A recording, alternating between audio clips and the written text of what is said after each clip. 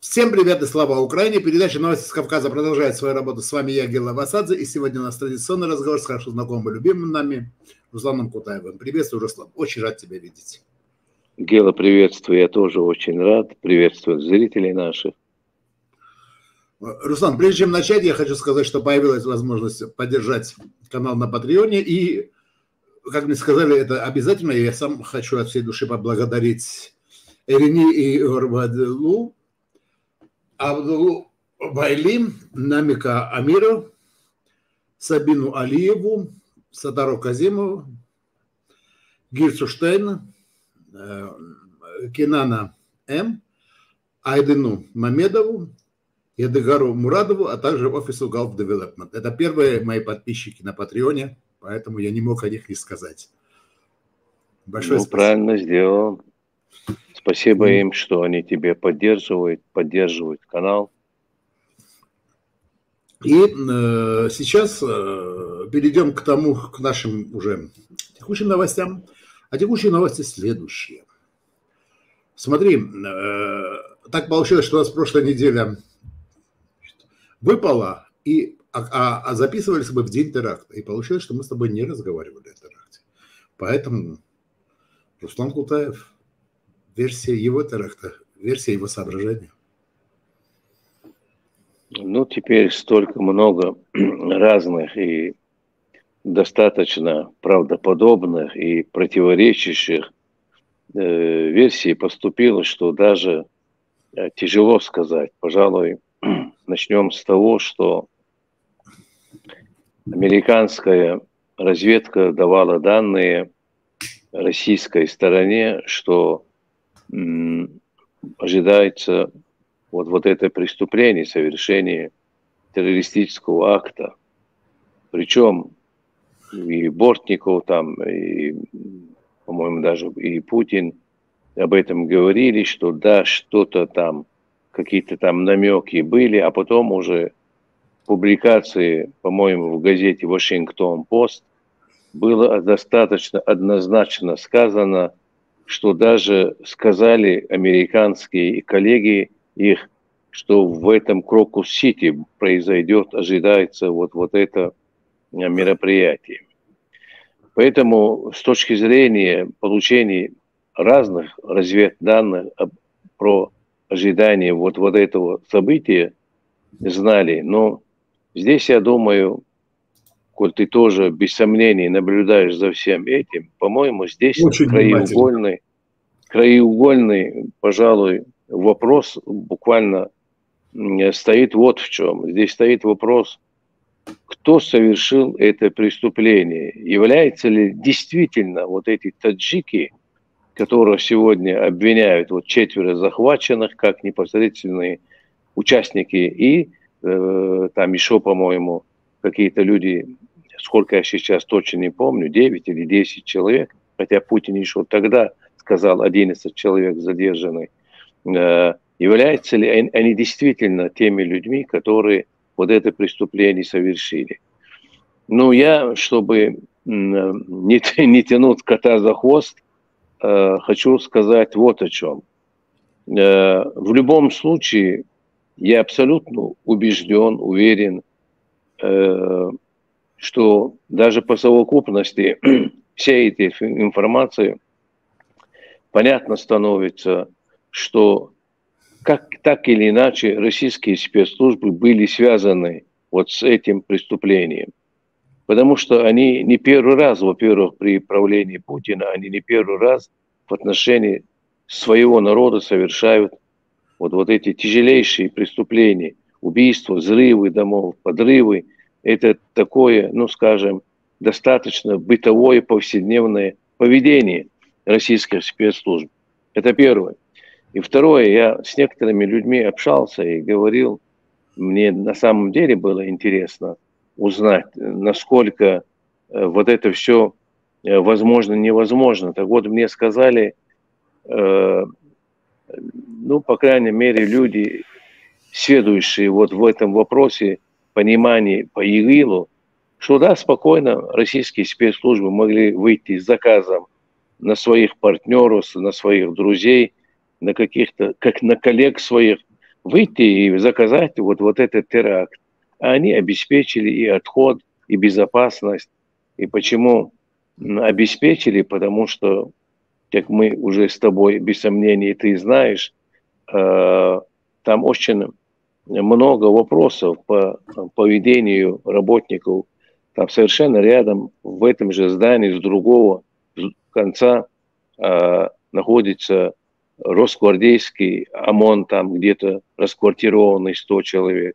Днем, вот в день совершения вот этого преступления, они буквально зачищали от нерусских вот это все окружение. Там их на пол ложили, на асфальт, там очень жестко их преследовали. И там, говорят, распустили слух, что здесь будут очень серьезные зачистки делать российские спецслужбы. То есть все они разбежались, и по этому поводу мне даже вопрос задавали, а для чего это делается? Вот для того.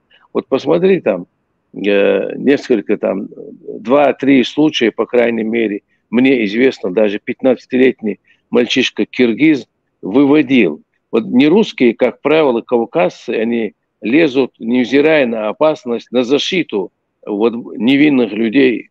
И для того, чтобы даже вот этого непредвиденного случая Э, не было, чтобы там какой-нибудь спортсмен или, не дай бог, работник каких-то правоохранительных структур э, не вмешались, они даже эту площадку днем зачистили, и вечером, как Вицин говорил, чин по чину быстренько разошлись, и никого не было. И вот, вот этот человек с собакой там, кинолог, который, видимо, чисто случайно там оказался, и то быстро сбежал оттуда. Что это говорит? Вот для меня по совокупности эту операцию убийства ни в чем не повинных мирных людей сопровождали российские спецслужбы. Первое. Второе. Если, допустим, эти таджики и были причастны, в чем я сомневаюсь, но, допустим, теоретически, и были причастны к этому преступлению, в любом случае они вот, э, не могли, э, ну, скажем, столько наворотить, так удачно и э, хорошо э, поджечь вот этот на Крокус-Сити.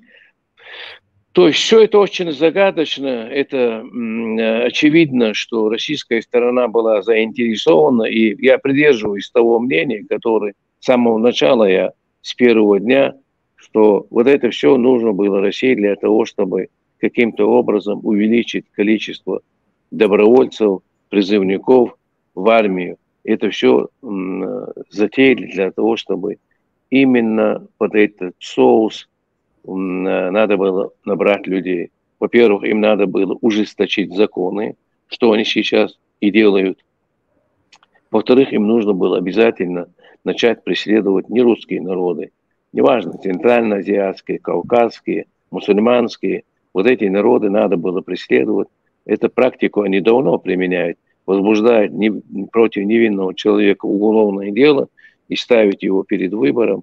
Или идешь на фронт воевать, или идешь в тюрьму.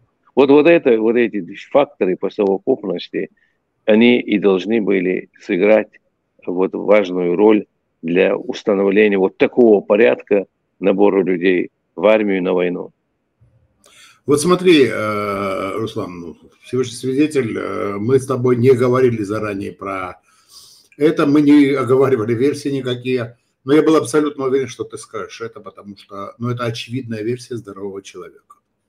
Почему так много людей не придерживается этой версии и пытается найти черную кошку в темной комнате, когда ее там нет, я не знаю. Причем э, людей, которые я и понимаю, что кто-то работает, и кому-то нужно, скажем так, показать, что это не российские спецслужбы. Но людей, которые точно не связаны, я знаю, с российскими спецслужбами, почему-то сам факт участия России в этом во всем их смущает. Я не понимаю, как может смущать э, при обнаружении трупа с почерком э, серийного убийцы – как может смущать то обстоятельство, что этот, этот серийный убийца это сделал, тем более, что это в этом же районе и так далее. Для меня это непонятно. Знаешь, какой вопрос меня, честно говоря, в последнее время интересует? А почему, Вилет Харасан, почему к этому делу не, прили, не приплели кавказцев, как это обычно бывает? Мне кажется, уже настолько привыкли, как правило, это чеченцы, чеченский след, чеченский терроризм, чеченский сепаратизм. Это уже настолько много проделано, уже набило оскомину, и уже сами, видимо, и доверять не будут. Но они плевать хотели, доверять будут, не будут, им вообще не доверяют.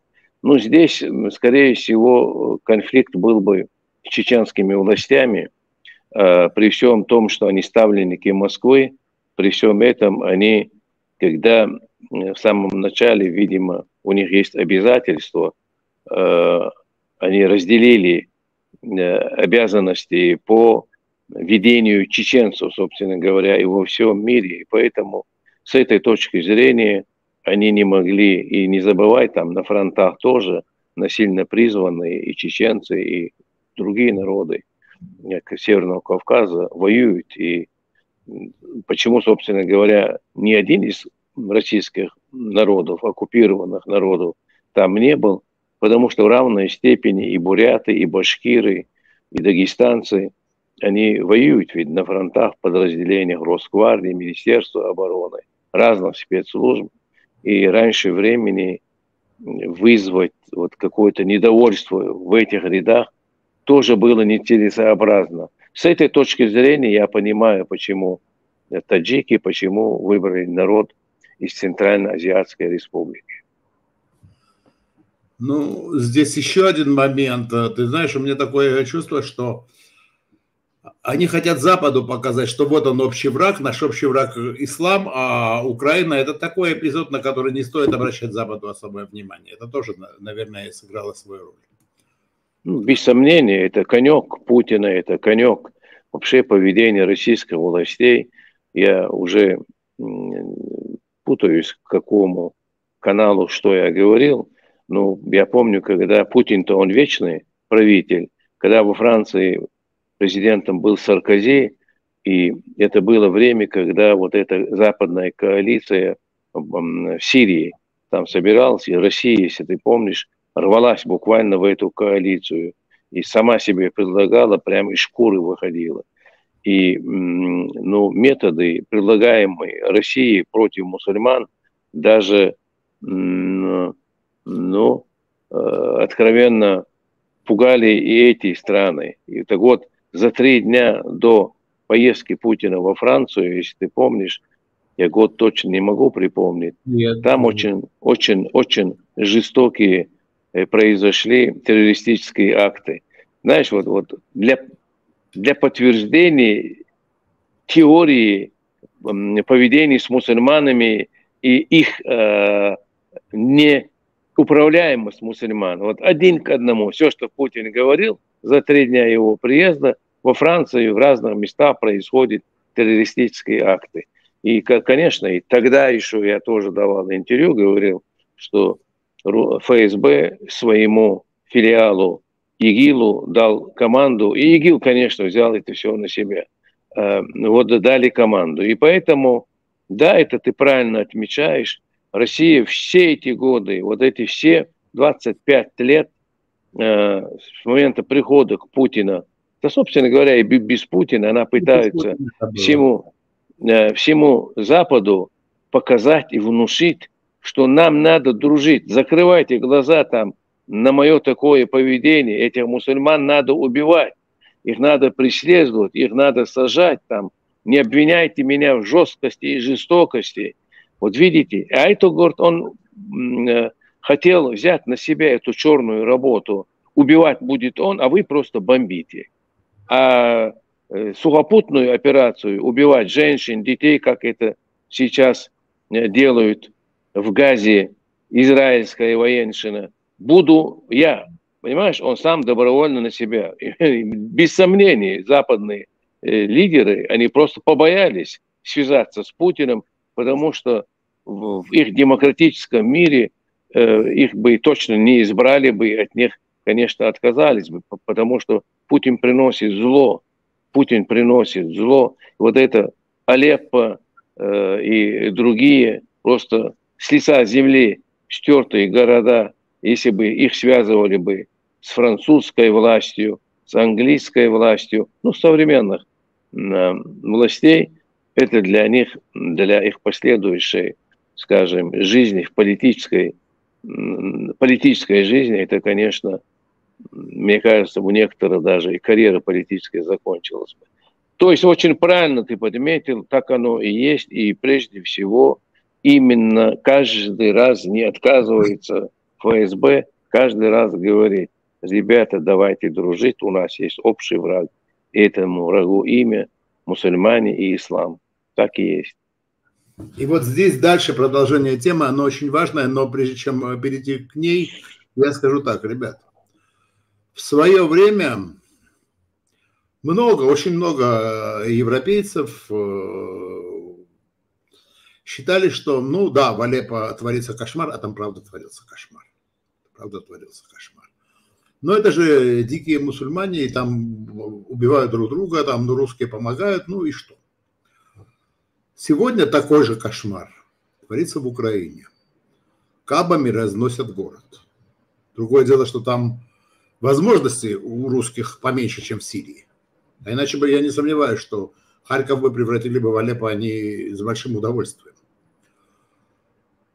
Э, Европа потихоньку просыпается. Но если она до конца не проснется, кабами начнут разносить уже их города. Как в свое время разносили Алеппо, как сейчас раз, пытаются разрушить Харьков и другие города Украины. Это очень важно понимать. А... Все правильно, все правильно. Участь Пальмиры, Алеппо, это что по параллели спокойно можешь проводить это Буча, Ирпень, Самашки, Алды.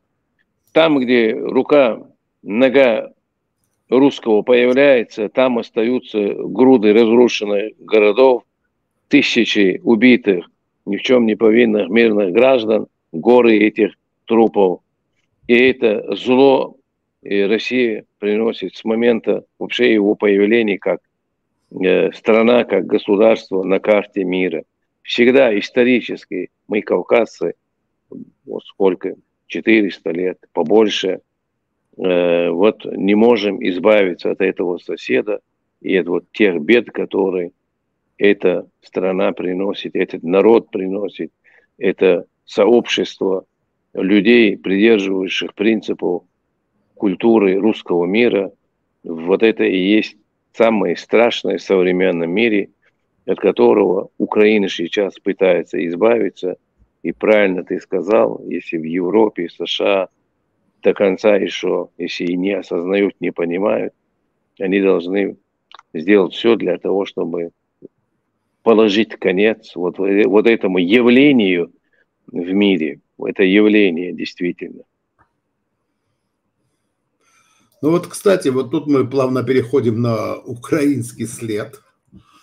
И ведь он тоже возник не случайно, ведь э, в голове западного обывателя должен возникнуть образ украинцев, которые и Украины, которая поддерживает именно исламских радикалов, террористов и так далее и тому подобное, что Украина, Украина предала Запад и западную цивилизацию вот, и так далее, а Россия как раз таки ее защищает. С этим, с этим как? То есть э, я думаю, что это, глав, это главный месседж. Говорят, вот просто обвинили Украину, потому что у, у, должны были обвинить Украину. А я думаю, что тут взаимосвязи очень четко прослеживаются. Нет, здесь, конечно, не случайно. Они, я уверен, они спокойно нашли бы и украинцев, которые могли бы это преступление совершить, или просто э, ну, лица со спины показали бы и просто сказали бы лица славянской национальности, там, Евтушенко, Петренко или Сидоренко. Сказали бы и все.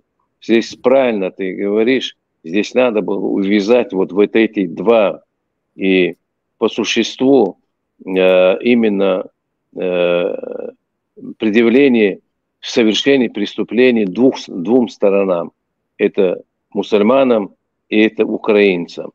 И здесь они ведь понимают, что на стороне Украины, защищая Украину, много мусульман воюют, в том числе из Кавказа. Есть и мусульмане, и других стран тоже. И вот это все достаточно хорошо задуманная, но не совсем хорошо проведенная операция. В другой раз, мне кажется, вот с самого начала, вот почему, если ты помнишь, они анонсировали, что Путин будет выступать по поводу совершения вот этого террористического акта, а потом его выступление перенесли. Мне кажется, тогда они опешили, когда Израиль, ИГИЛ взял на себя вот совершение этого э, теракта. И вот тогда мне показалось, что карты у них запутались, они хотели так достаточно огульно обвинить Украину, но тут ИГИЛ берет э, вот это все на себя. И, и вот здесь тоже у них, вот не могу сейчас четко сформулировать, потому что до конца нет четкого понимания, где вот этот сбой произошел. А сто процентов сбой произошел. Здесь нет сомнений, еще раз говорю, если этот ИГИЛ совершил, не сомневаясь в том, что это был заказ ФСБ или ГРУ, в этом нет сомнений. И вообще нет сомнений, что это преступление совершено или по поручению, или сама российская какая-то спецслужба это сделала. И вот я еще раз говорю, и вот здесь как раз они и преследовали, здесь ты правильно сказал, и я тоже в других разных, э, на, на других площадках об этом говорил, две цели. Э, обвинить мусульман и э, обвинить украинцев. И а чем это не, не повод, что украинцы уже в союзе, украинцы в купе с террористами, с исламскими, с мусульманскими совершают преступления. Это тоже, ведь это же посыл такой, они сегодня в России это делают, а завтра будут делать и с вами. Там тоже есть очень такие зрелые зерна, которые они могли бы. Еще раз говорю, абсолютно убежден, где-то там произошел сбой. Пока сегодня сказать не готов где. И вот, вот, вот этот механизм такой, как знаешь, как будто хор Пятницкого выступает тут буквально голос за голосом, э, он где-то прервался, что-то там произошло. И вот это, что произошло, я думаю, э, скоро будет известно. Знаешь, действительно так, но вот э, по поводу сбоев, может быть, да, какие-то небольшие сбои происходили, но вот я думаю, вот эти все нестыковки, я думаю, они созданы вообще, э, говорят, это, это говорит, э, ошибки спецслужб. А у меня такое впечатление, что это гениально проведенное как раз таки ПСО. То есть нужны были эти нестыковки, нужны были, чтобы люди говорили, а как это, а как это вот так они смогли сделать, а что, а вот тут еще люди в синем, вот люди в синем это классическая операция по отвлечению внимания. Люди в синем потом начали доказывать, а нет, это совсем другие люди и так далее. А вот эти, там кто-то в красном ходил, там кто-то что-то снимал и так далее. Вот этот информационный хаос, вот этот белый шум, он был создан специально, чтобы в конечном итоге самая нелогичная версия – украинцы вместе с ИГИЛ совершили этот теракт, была основной. И в какой-то степени, ты знаешь, в какой-то степени, ну, по крайней мере, на российском рынке им это удалось. А что касается на западном рынке, там у них, э, с украинцами, конечно, не удалось, но то, что это ИГИЛ, очень многие в этом уверены. Я, я, я просто с ума схожу, почему они не понимают элементарных вещей, но.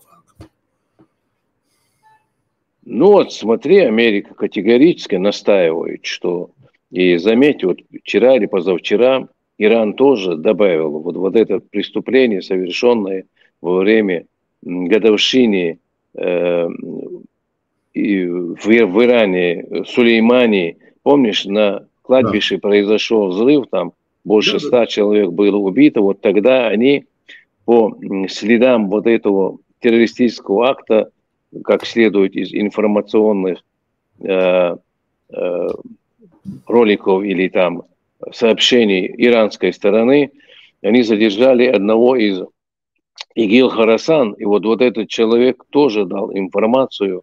Вот они говорят, что будет совершено террористическое нападение именно Крокус-Сити. И здесь получается два достаточно серьезных врага, Америка и Иран, э, говорят одно и то же.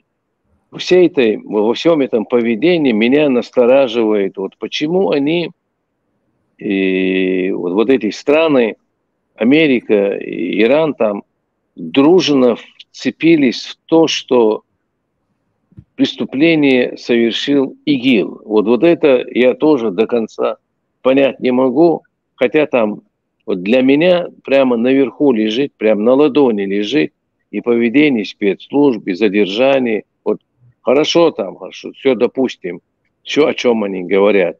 Четыре преступника, там рюкзаки с, с боеприпасами, с магазинами, они там перестреляли, э, сели на... Ну сколько дальше наступает несуразных вещей. На той же машине, э, на, на той же машине на которые они приехали, они уезжают. И потом, а что они автоматы-то выбрасывают? Вот для чего? Они же что далеко до границы, не дошли они. И вдруг они выбрасывают автоматы, и как э, птенцы, как щенки какие-то, только новорожденные, они испуганные, перепуганные. А почему? А где автоматы? Почему они так жестоко убивающие, расстреливающие? прямо от, от, от бедра там, от корпуса там, не целясь, они там так заправски убивают людей, а здесь они совсем другие люди. Вот, это как раз э, меня и подталкивает к идее, что вот эти таджики, и там одна, я не, точно не помню, где это мысль там пробежала, разные слушаешь информации, так вот, в одной из такой э, передачи или в ролике где-то я слышал интересную, что вот этим таджикам, вот, вот этих высадили террористов, машину сразу отогнали, и этим таджикам там сказали, вот вам деньги, перегоните машину на границу. За перегон машины им дали деньги и дали перегнать. Вот, вот это с точки зрения вот, поведения этих таджиков очень похоже. И если ты помнишь, там с переводчиком показывали, по-моему, это самого молодого парня, там, который там без сознания-то они доставляли в суд. Вот переводчик-то переводила там, женщина была, и он все время спрашивает, а за что меня, собственно говоря, что забрали? Что я сделал? Он говорит, он никак не мог понять, в связи с чем его, собственно, доставили. И, конечно, если бы они вот эти вещи нам показывали бы, э, там очень много было бы нестыковок. И, и здесь тоже, мне кажется, не случайно люди, которые вообще не говорят или совсем слабо говорят на русском языке, что бы они там ни говорили бы, это можно толковать, как они сами хотят. Здесь тоже это было учтено и продумано. Несомненно. А вот что касается, почему США не говорит, а я думаю, тут как раз таки очевидно. Ну, там они сидят и просто думают, блин, как обвинить Путина в том, что он это сделал. То есть, э, если обвинить Путина, что он это сделал, то уже сразу же надо значит, заводить уголовное дело на него, и сразу же все, он уже не договороспособный. Но чего они не понимают, знаешь, на мой взгляд, чего не понимают эти чиновники, большие руководители в тех же Штатах, в той же Европе, они не понимают одного, что Путин уже давно не договороспособный, уже давно с ним нельзя вести никаких переговоров. Давно. Они все варят жабу медленно. Я понимаю, что жабу нужно варить медленно, но надо прибавить огня. Иначе жаба себя чувствует очень комфортно в теплой воде. Ты знаешь, Гела, здесь, э, если мы будем анализировать, ведь в России, в российской энергетике, не только в нефтегазовой, Э, секторы э, в разных, и в алюминии, и гидроэлектростанции, разного рода. Ведь очень много э, людей, которые являются собственниками э, акций, собственниками э, каких-то активов, американцы, этнические, граждане Соединенных Штатов Америки, европейцы, немцы. Здесь очень много заинтересованных людей, которые не хотят менять Э, собственно говоря, и правление, и управление в России, и сам и сами границы этого российского государства, потому что их деньги там, и немалые деньги, миллиардные деньги, их э, собственность находится. И вот, вот здесь, э, мне кажется, все вот, вот это поведение э, Запада как раз этим и без сомнения, ну в том числе этим и диктуется. Они должны, вот эти спонсоры, которые финансируют и европейских политиков, и американских политиков в их избирательных кампаниях, ну я там не говорю там, э, как кто там заносит там э, через э, задние двери, не знаю, я кого-то в этом обвинять не хочу, скорее всего, это мало делается, если делается, но факт остается фактом. Еще большое количество. Об этом э, достаточно настойчиво не говорят. Не говорят, они как-то умалчивают, как будто Штирлиц э, где-то у Мюллера на допросе. Вот они об этом молчат, а ведь очень много активов, еще раз говорю, европейцев и американцев по сегодняшний день остаются э, на право э, владения, управления огромным, целые сектора э, российской экономики, сектора и энерго, и гидро, электри, и, э, энергия, там, и гидроэлектростанции, там, не знаю, атомные гидроэлектростанции, точно знаю, они не принадлежат российскому государству, они в основном все принадлежат зарубежным каким-то э, партнерам и так далее. И поэтому это тоже играет очень важную и большую роль. Несомненно, понятно, что есть интересанты, которые очень хотят, чтобы все сохранилось так, как есть, хотя я думаю, что даже им пора понимать, что не получится э, сохранить так, как есть, и, ну, в общем-то, придется меняться. Слушай, ты поднял очень интересную, очень важную тему мобилизации. В последнее время об этом э, шли, э, идут активные разговоры. В частности, Президент Зеленский э, сказал, что да, будет мобилизация в России, назвал цифру в 300 тысяч. И э, вот сейчас многие говорят, а что если не будет? Значит, выходит, что президент собрал? Да нет, ребят, ну, понятно, что он сказал это не с потолка, он сказал это очевидно, что ему дали информацию, может, собственные разведслужбы, может быть, разведслужбы Запада какие-то. Дело ведь не в этом, дело в том, что мобилизация так или иначе, она уже идет. И интересные цифры недавно были опубликованы, вот э, из, только из Чечни, я не говорю из всего Северного Кавказа. На войну были отправлены 40 тысяч человек, из них 16 800 добровольцев. То есть э, остальные, больше половины, были отправлены фактически насильно, мобилизация. Так получается. Первые месяцы войны, скажем так, опора была вообще на Северный Кавказ, но в основном не столько на Чечню, сколько на Дагестан была, то есть там еще больше. Сейчас вот эта мобилизация, как, каковы, вот у тебя есть информация, каковы настроения и удастся ли им так легко провести мобилизацию на Северном Кавказе? Ну, я, честно говоря, там какие-то единицы, ну, десятки, ну, несколько сотен человек абсолютно уверен. Я не опираюсь на какие-то исследования, такое. Нет, это, это, кстати, российское. Извини, это, кстати, это, это, вот то, что я сказал сейчас, нужно сразу же оговариваться, извини, я этого не сказал. Это чисто российская информация, это то, что дает Москва. И это что они, они прошли подготовку на базе спецназа в Гудермесе. Вот это да, то, да. что дает Москва. Нет, я хочу о другом сказать, что вот, вот у меня такое чисто интуитивное понимание, что никто не хочет войну. Никто не хочет на войну. Это, во-первых, для чеченцев, это особенно для чеченцев, слово «война», она ассоциируется в умах людей.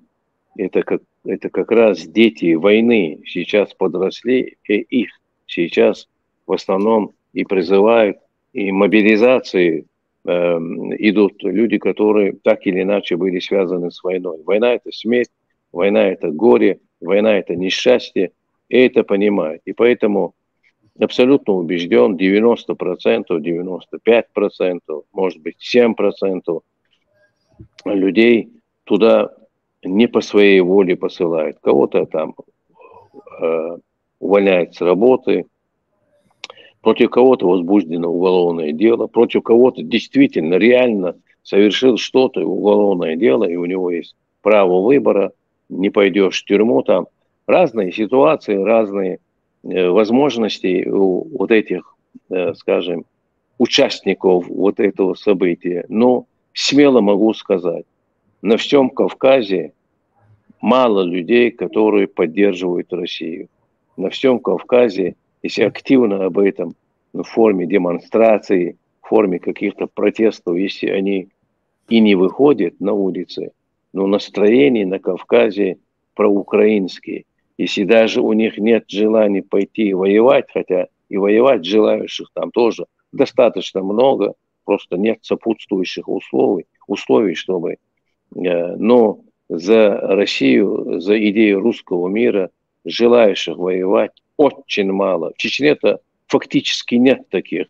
И я думаю, на Северном Кавказе их очень мало. И поэтому э, это вопрос очень сложный. Я задал такой, скажем, мои ощущения и ситуацию на фронтах. Вот я сейчас не помню, вот какой-то, по-моему, или американская, или английская газета, они печатали, они, как правило, очень проверенные данные. Они говорят, мобилизация-то она никогда не останавливалась. Каждый месяц в России 30 тысяч человек мобилизуются. Каждый месяц.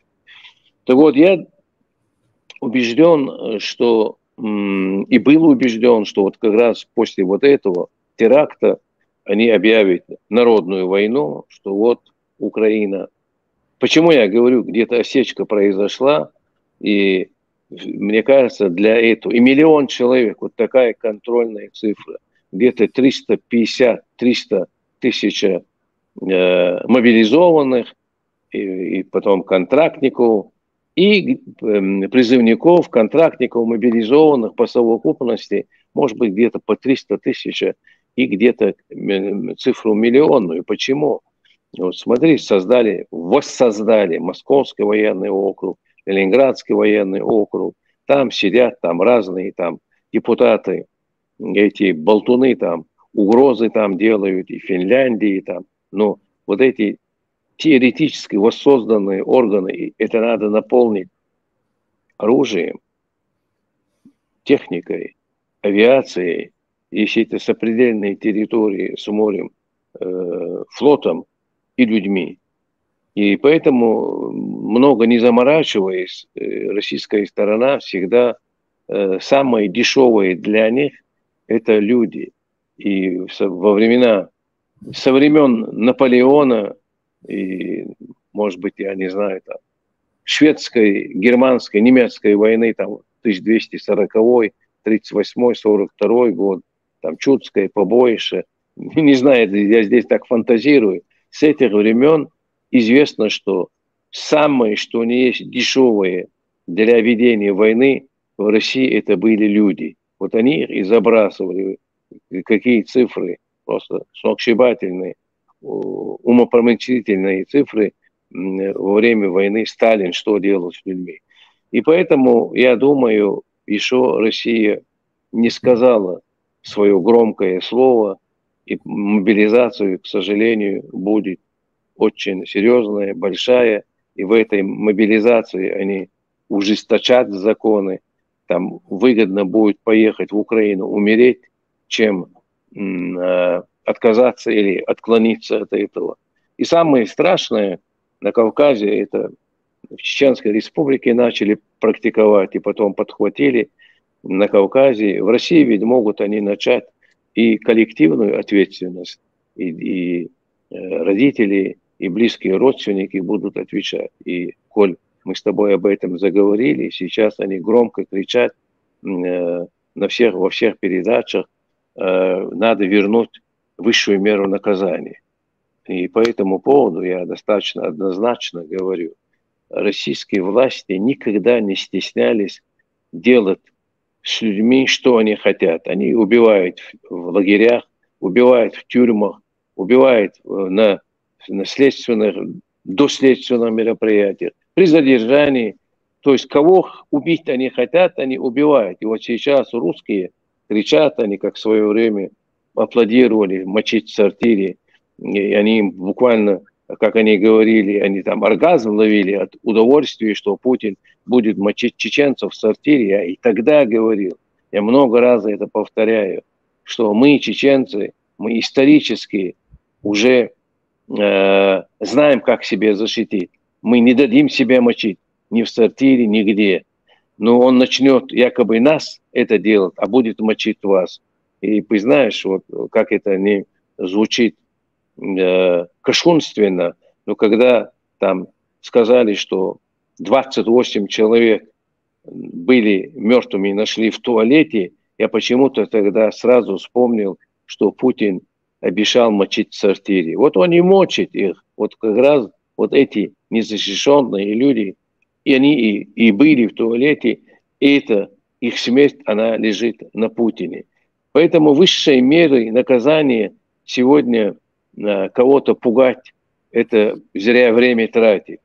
А посмотри, сколько сегодня, э, когда Кутаева, там, других там сажали э, по сфабрикованным делам, тоже так свой э, пальцы на бытовом уровне смотрели. Надо отдать должное политические правозащитные организации и в Москве, и в России, они достаточно серьезно относились к этому, и Борис Немцов покойный, и все остальные, ну, известные политики понимали, что преследовать Путин будет очень серьезно и жестко. Так вот, высшую меру наказания, если они ведут, я хочу просто предупредить русских, это вводит против вас. Нас эта власть так и так убивает. Кого они хотят убить, нас убивают. Нам не обязательно, чтобы эта высшая мера была или не была. А вот для вас он высшую меру придумал. Он сейчас обязательно попытается его. А потом, когда пройдут годы и выяснится, что вы ничего не сделали. Почему? Потому что в подавляющем большинстве, особенно последние годы, 90%, 80% людей сажают, особенно по политическим, это по сфабрикованным делам. Вот и представьте, уважаемые русские, по сфабрикованным делам шьют вам вот такие тяжелые статьи и э, осуждают высшую меру, приговор привели в исполнение, путинская шайка-лейка разгоняется, и потом новые власти проводят расследование, и выясняется, Иванов, Петров, Сидоров не были виноваты, против них было сфабриковано дело. Вот ваша им высшая мера наказания, она придет и к вам домой.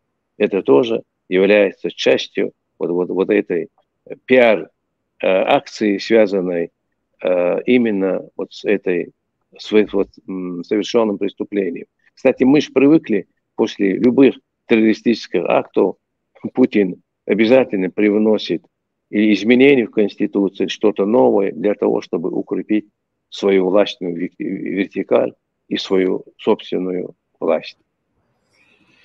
Кстати, да, и, кстати, я с тобой согласен, что, в принципе, высшая мера возвращения, высшая мера наказания для них будет чисто психологический момент, потому что они и так убивают внесудебно на улице, в тюрьме, да где угодно.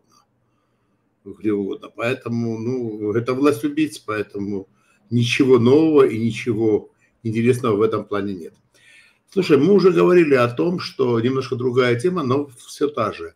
Мы уже говорили о том, что ИГИЛ давно стал, а, ну, по крайней мере, на территории России, стал инструментом работы спецслужб. Сейчас каково положение на Северном Кавказе? Там есть ИГИЛ? Ячейки ИГИЛ? Да нет, я, говоря, вообще э, не видел, что ИГИЛ имеет какое-то реальное э, влияние на северокавказскую молодежь. Если а имел ли когда-нибудь, это важно, подожди, извини, Руслан, я, что я тебя перебиваю, важно, имел ли когда-нибудь, потому что там э, было всегда, что ИГИЛ это чуть ли не вторая власть на Северном Кавказе. Тоже Ничего подобного, это тоже вранье, это тоже придумано.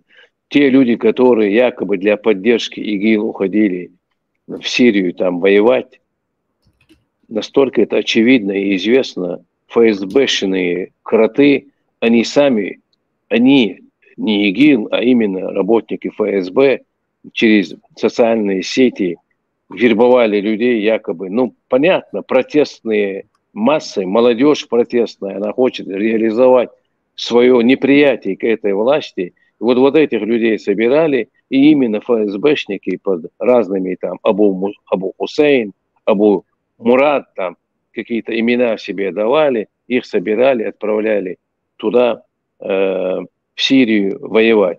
Что я хочу сказать?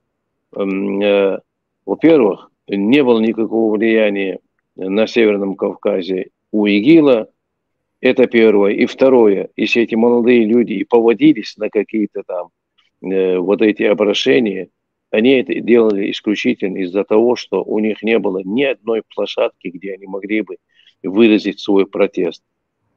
И потом, когда и ни с какой стороны это ничего делать невозможно, а власть уже достала и против власти, ну, пассионарии, они всегда хотят быть на передовой и в борьбе, и в войне, и воевать. Вот, вот, вот этим и пользовались, и отправляли их, и паспорта им делали. Вот сколько есть люди, группа людей, сейчас я за них говорить не хочу, которые исследовали этот вопрос. Именно ФСБшники, когда вот этого молодого человека они фактически вербуют для того, чтобы на войну в Сирии, а у него и паспорт, и ничего нету, так они и российский паспорт, загранпаспорт делали, сами этот паспорт отдавали и потом отправляли и так далее. Эти действия они тоже проводили.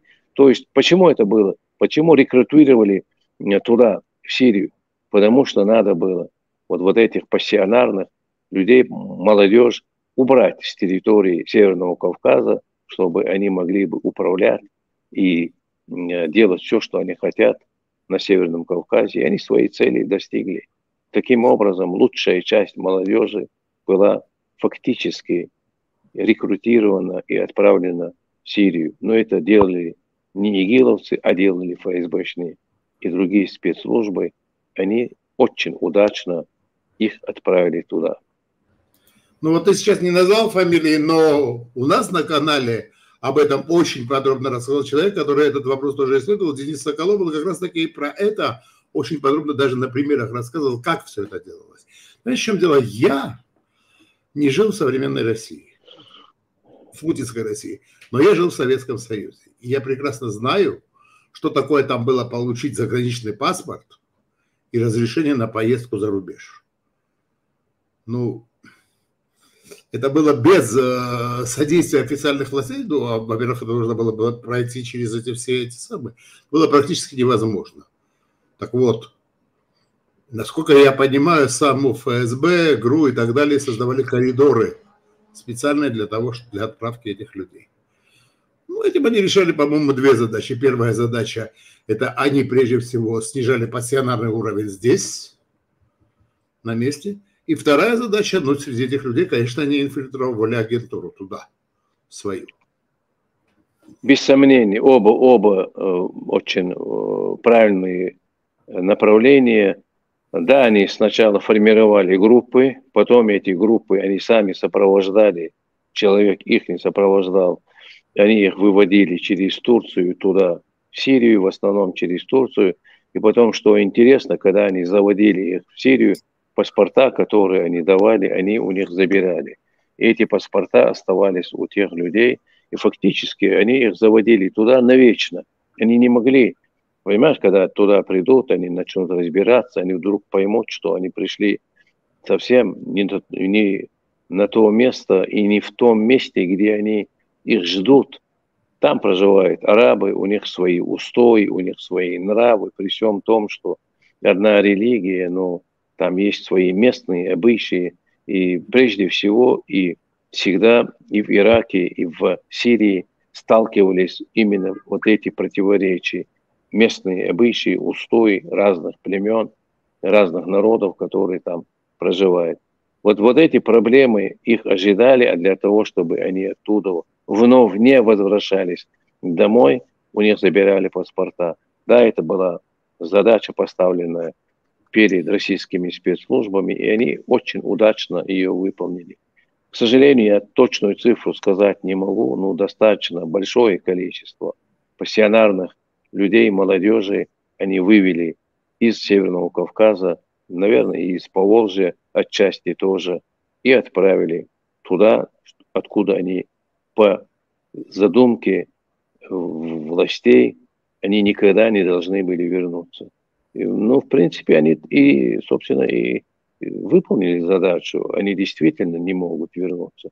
Если возвращаются, их ждут жесточайшие статьи, эм, они будут посажены, э, лишены свободы. А там, находясь, они, так сказать, джентльмены удачи, если не убьют, то так, выживать надо будет. Тяжелая участь, и их очень серьезно, продуманно подставили. Более того, я тебе скажу, я был знаком, правда, ну, с одной семьей, которая не просто в Сирию, это не только до Сирии, они в Азербайджан попали по, по тем же каналам. То есть и туда были организованы каналы. И да, спецслужбы очень серьезно, российские спецслужбы очень серьезно работали, но они работали еще советские спецслужбы, у них просто были эти наработки лет. Поэтому удивляться тому, что российские спецслужбы могли заказать даже не теракт, а сопровождение теракта со стороны того же Вилета Харасан, ну, я думаю, что точно не стоит. Ничего, ни, Нет, ничего. конечно, это настолько э, очевидно, и ведь э, никто не спорит с тем, что ИГИЛ создавался в Сирии и в Ираке, и ИГИЛ создал именно партию БААС. А БААС, как мы знаем, это была партия, которой управлял и отец э, Асада, э, и э, Саддам Хусейн. А кто такие военные генералы? Это люди, которые прошли военные училища, академии именно в Советском Союзе, в России.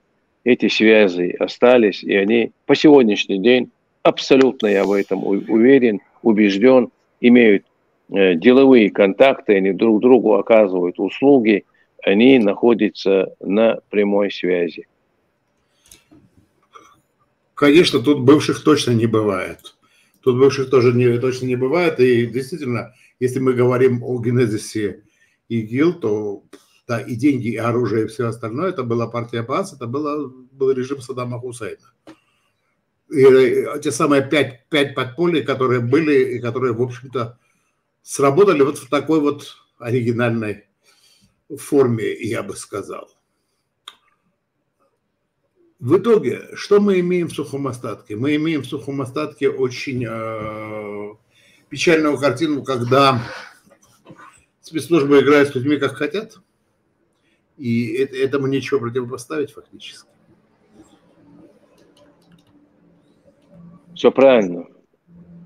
Эм, невозможно, невозможно вот этот вот эта группа. Путин, Патрушев, Бортников, Иванов, вот, вот это ФСБшные генералы, они фактически захватили не только правоохранительные, силовые структуры, их дети сейчас сидят в экономике, кто министром, кто начальником департамента, кто возглавляет какие-то серьезные направления в Роснефти, в Газпроме, ну и остальных, скажем, отраслях э, экономики и производства. И поэтому эти люди, ведь находясь даже на э, созидании, на мирных полях экономики, свои приемы спецслужб, преследований, убийства э, и все, что вот этот полный перечень инструментов – они пользуются, и службы безопасности вот этих всех перечисленных и еще не перечисленных отраслей хозяйства, экономики управляют именно выходцы из ФСБ. А методы у них одни. Шантаж, преследование, прессование, убийство, отжимание. Вот это все и есть полный короб того, что они умеют делать. Они это делают удачно, если бы сейчас они немножко не завязли бы в войне в Украине, то мастерство их значительно улучшилось бы, и они это уже делали бы э, не, не меньше и не хуже и в самой Украине, и в Белоруссии, э, и, и делают, и продолжали бы делать тоже. И вот у нас уже остается не так много времени, но я все-таки у тебя спрошу. Мы говорим Путин, но когда мы говорим Путин, мы говорим коллективный Путин. Мы же не говорим только про одного человека, которого, если бы это была бы проблема одного человека, его можно было бы убрать. Конечно. могло бы что-то случиться, и, и все. Конечно, Большой... мне, мне там, извини, пожалуйста, спрашивают, вот этот Путин, или его заменили, там, да, да плевать я хотел, этот Путин, или его заменили, или его каждый день меняют. Какая разница? Самое главное, ведь мы говорим о том зле, э, который исходит из Кремля. И ведь э, Путин ведь транслирует то, что он, он исследует, он знает настроение людей. Это действительно, это коллективный Путин. В подавляющем своем большинстве он ведь именно транслирует идеи и идеологию русского мира. А носители идей русского мира, как минимум, это такие жесткие носители, такие непреклонные сторонники вот такой жесткой идеологии. Это 40-45% э, русского населения. Это очень большой процент. И это такой ядреный процент э, его и поэтому Путин это не сам выдумывает. Он отвечает на те, скажем, нарративы, которые исходят от общества. Они хотят, чтобы он мыслил этими категориями. Они задают ему темп ведения и решения и притворения вот этих, скажем, их а, таких посылов и позывов, которые исходят из общества. Э, и поэтому это не проблема только чисто физически Путина, президента России. Это проблема мышления, коллективного мышления русского общества. Общества с пониманием и с идеями русского э, мира, который, с одной стороны, задает тон русская православная церковь Московского патриархата, и с другой стороны ФСБ Российской Федерации. То есть, если завтра вдруг Путина не станет, мало что изменится. Да, в принципе, там, по крайней мере, на тот период настроения они будут такие же оставаться. Но русские, я всегда привожу этот пример, это они подобны глине, они очень быстро Э, поддаются тому, чтобы из них лепить все, что угодно. Хотят горшок, горшок, хотят унитаз, унитаз, смывной бачок, смывной бачок. То есть они поддаются вот, вот, вот этому управлению. Почему кавказцев мусульман не любят? Потому что у них есть свои принципы, от которых они не хотят и не могут отказаться в подавляющем своем большинстве. Вот здесь вот, вот это сырье, которое попадает в руки гончара, а, он из него может лепить любые фигуры. И поэтому, если придет другой здравомыслящий, он будет транслировать эти идеи от имени власти, от имени барина. И вот, вот это священное, святое, что вот этому крепостному русскому указание дает барин. Вот они до по сегодняшний день, 861 год, крепостное право отменили, но русские продолжают до сих пор находиться вот в этой зависимости крепостных, и они все время оглядываются на барина. Вот что скажет барин, вот, вот, вот это мы и будем делать. Ну и последняя тема. Можно ли сказать, что теракт был последним актом перед окончательным оформлением диктатуры ФСБ в России? Нет, конечно. Мы должны быть э, наготове. Я это обращаюсь, собственно говоря, и русским тоже, лучшие части этого населения, протестные части, и не русским, и мусульманам, кавказцам, вы должны быть готовы к тому, что вот эти провокации, они будут достаточно часто проходить в России. Не из-за того, что вы это будете инициировать, а из-за того, что российские спецслужбы будут это против вас инициировать. И по какой задумке? Ну, понятно, куда они двигаются, понятно, что они будут делать, но в какой последовательности они это будут делать, тяжело сказать. И поэтому надо быть очень и очень осторожными.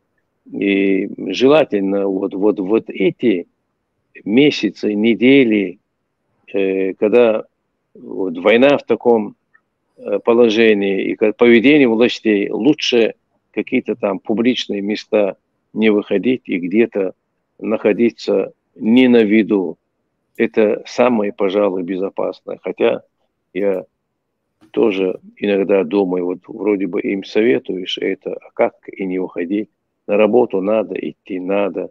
Вот чеченец, парень, недавно буквально убитый, он шел с работы или на работу, он стоял на остановке, к нему гражданские люди пришли, начали к нему приставать, он оказал сопротивление, они вызвали наряд, и это оказывается э, в гражданке работники правоохранительных структур, они его запытали, буквально сломали ему позвоночник, все ребра переломали, избили и убили. И потом объявили немало, немного, что он повесился. А он успел, когда его забирали, позвонить жене и сказать, что его насильно забирают какой-то отдел. И там уже есть точно, кто там забрал и как там. И вроде бы говорят, какие-то следственные мероприятия там проводятся. Но они ничего не сделают. Просто родственники вот этого парня, они должны для себя определить, кто его забрал, и, а потом придет время, свой долг можно будет забрать. Обязательно надо будет забрать свой долг и выяснить это недолго будет. Я ну, уверен, что мы заберем свой долг. А он, я говорю, почему мы, потому что он, вот этот парень из Веденского района, это не дело его, лично его родственников и его братьев. Это долг наш и чеченцев, и кавказцев. Если мы будем им прощать это, они вообще нас будут ломать каждый день, потому что приехать, что и в их пьяные дурные головы приходить будет, это невозможно просто и предсказать.